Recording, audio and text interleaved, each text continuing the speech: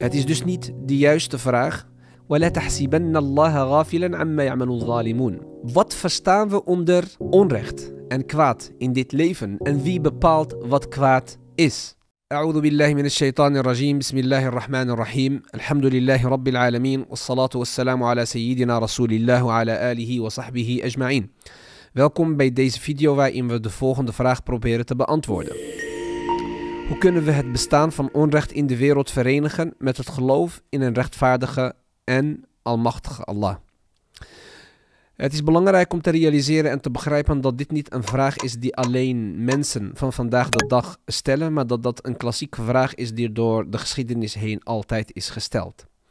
En alvorens wij inhoudelijk hierop gaan reageren, is het ook belangrijk om te realiseren en te begrijpen dat er niet per definitie een verband is tussen het bestaan van onrecht en de goddelijke aanwezigheid of het bestaan van God.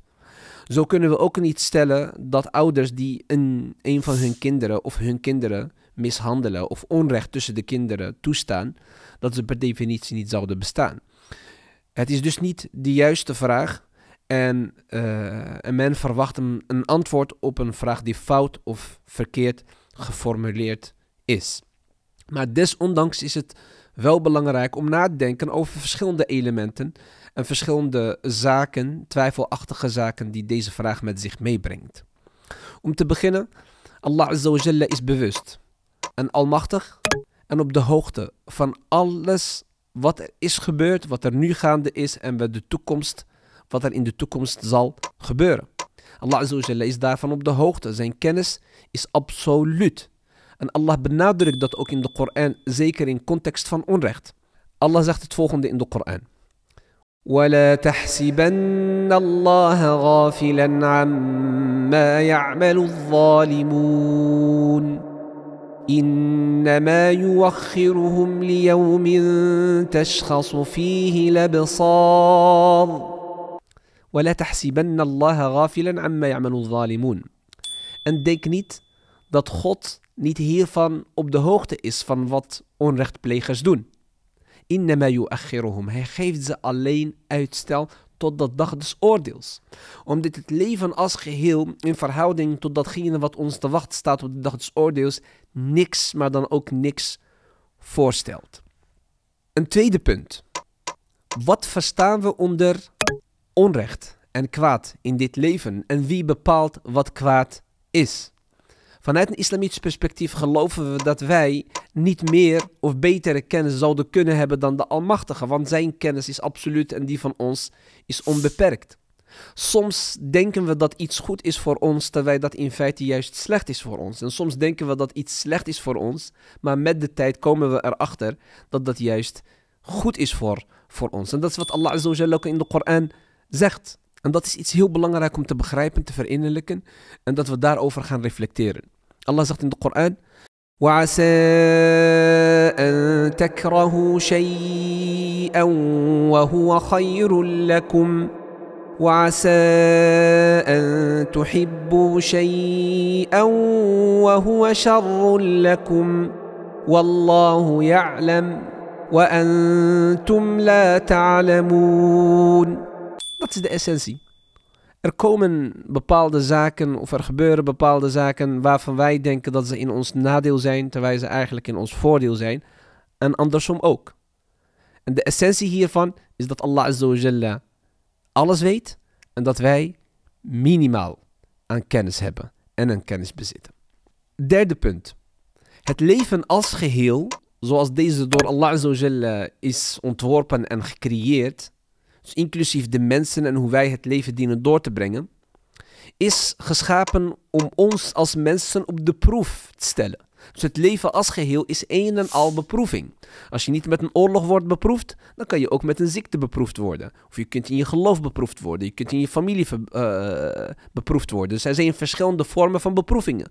Een beproeving kan ook rijkdom zijn. Een beproeving kan ook aanzien aan status zijn, bekendheid. Dat zijn allemaal zaken die als beproeving bestempeld kunnen worden, omdat we daarmee of dichter bij Allah kunnen komen, of van Allah verwijderd kunnen worden.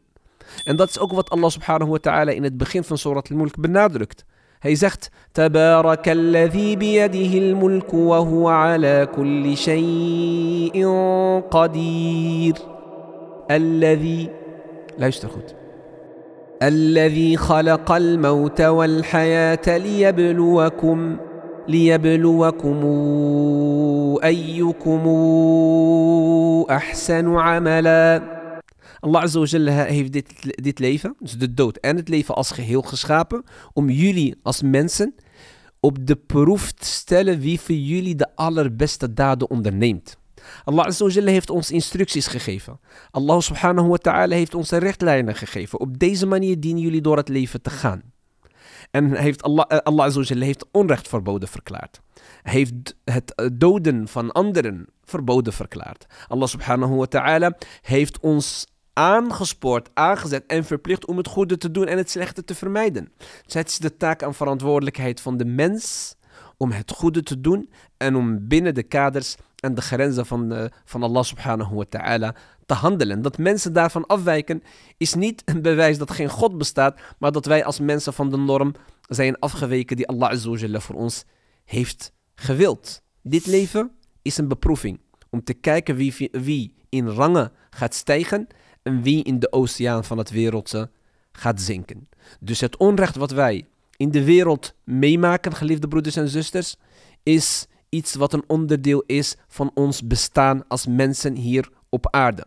En dit zou ons niet ertoe moeten zetten om Allah of God te ontkennen, maar eerder om na te denken over de verantwoordelijkheden die wij als mensen zouden moeten dragen als khalifa van Allah subhanahu wa ta'ala hier op aarde. Dat je het, juiste doet, dat je het maximale uit het leven probeert te halen om onrecht te bestrijden en om vrede en harmonie en rust hier op aarde wijd te verspreiden. Dat is onze taak. We kunnen dag en nacht dua doen. We kunnen als 1,9 of 2 miljard moslims op één moment het dua doen, maar dat gaat gepaard met actie. Dat gaat gepaard met zelfontwikkeling, met verbetering, met het maximale proberen te doen om de doelen te realiseren die Allah Azza voor ons heeft gewild. Dus laten we niet over God klagen, maar laten we samen nadenken hoe wij deze wereld een stuk mooier kunnen maken. Assalamu alaikum wa rahmatullahi wa barakatuh.